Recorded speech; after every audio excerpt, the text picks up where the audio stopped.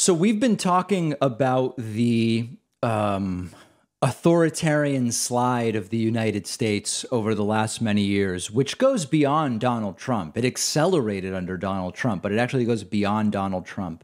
And now, for the first time ever, the United States has actually been listed as a backsliding democracy. This has never happened before. The Guardian has a very interesting article about it. U.S. added to list of backsliding democracies for the first time. Visible deterioration in U.S. civil liberties began in at least 2019, says international think tank. This is the International IDEA think tank. Globally, more than one in four people live in a backsliding democracy, a proportion that rises to more than two in three when you include authoritarian or hybrid regimes, according to the Stockholm based International Institute for Democracy and Electoral Assistance. This year, we coded the United States as backsliding for the first time, but our data suggests the backsliding episode began at least in 2019. The United States is a high performing democracy and even improved its performance in indicators of impartial administration, corruption, and predictable enforcement in 2020. However, the declines in civil liberties and checks on government indicate that there are serious problems with the fundamentals of democracy. A historic turning point came in 2021 when former President Trump questioned the legitimacy of the 2020 election results. Hudson pointed to a decline in the quality of freedom of association and assembly during the summer of protests in 2020 after the police killing of George Floyd. International IDEA based its assessments on 50 years of democratic indicators in 160 countries. There are three categories for democracies, uh, including those that are backsliding, hybrid governments, and authoritarian regimes. Another word for a backsliding democracy is creeping authoritarianism or autocratization, democratic decay, de democratization, uh, a gradual decline in the quality of democracy, the opposite of democratization. If unchecked, democratic backsliding results in the state losing its democratic qualities, becoming an autocracy or an authoritarian regime. Now, there's another aspect to this.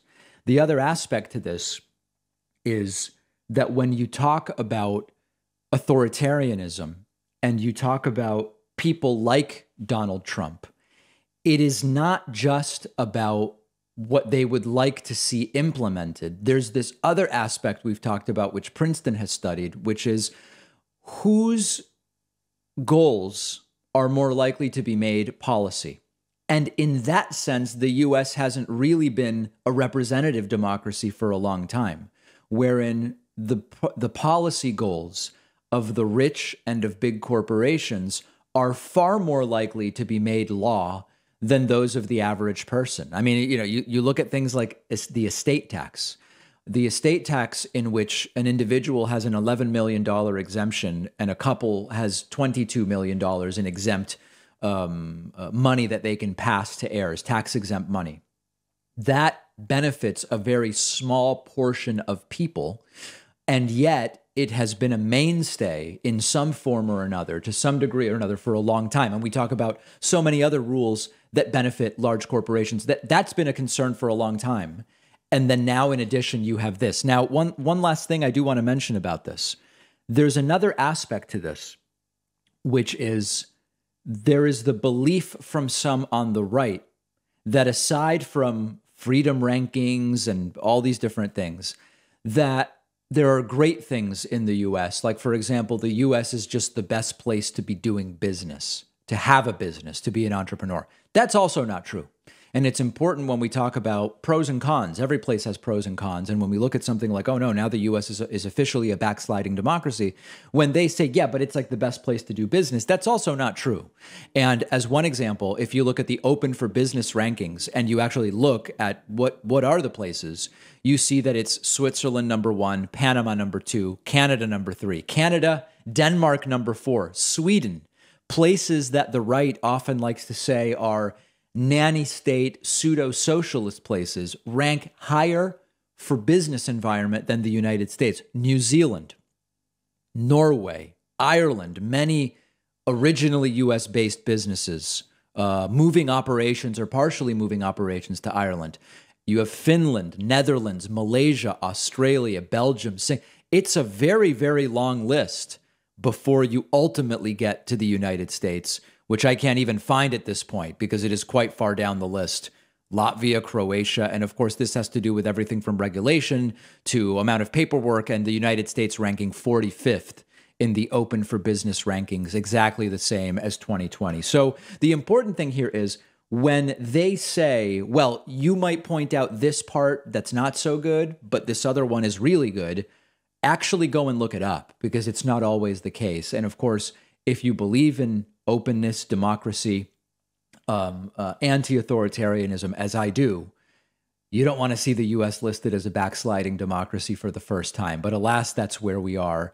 And this goes beyond just who's president. This has this has a lot to do with many different aspects, including surveillance, including corruption, including so many different things, not going in the right direction. Let's take a quick break and we'll be right back after this. One of our sponsors is called Privacy. Privacy is a totally free service that I've been using for years. Privacy lets me create virtual payment cards with one click, and when I use the virtual card, the money is taken out of my bank account. You can create multiple cards, delete them, freeze them, set a spending limit on them. Let's say I'm signing up for a free trial and it requires a credit card. Privacy will autofill a virtual card number. And then after signing up, I can delete that virtual card. So I know I'm not going to be charged again. Something really useful and very practical. Or let's say I'm ordering food over the phone, but I left my wallet somewhere. I don't have my real credit card on me. I can use a virtual card on my privacy mobile app. But really, the best part is you're not out there exposing your real credit card number so you're not as susceptible to data breaches and identity theft. Privacy is a totally free service, and you'll get five bucks to spend when you go to privacy.com slash Pakman. The link is right underneath this video.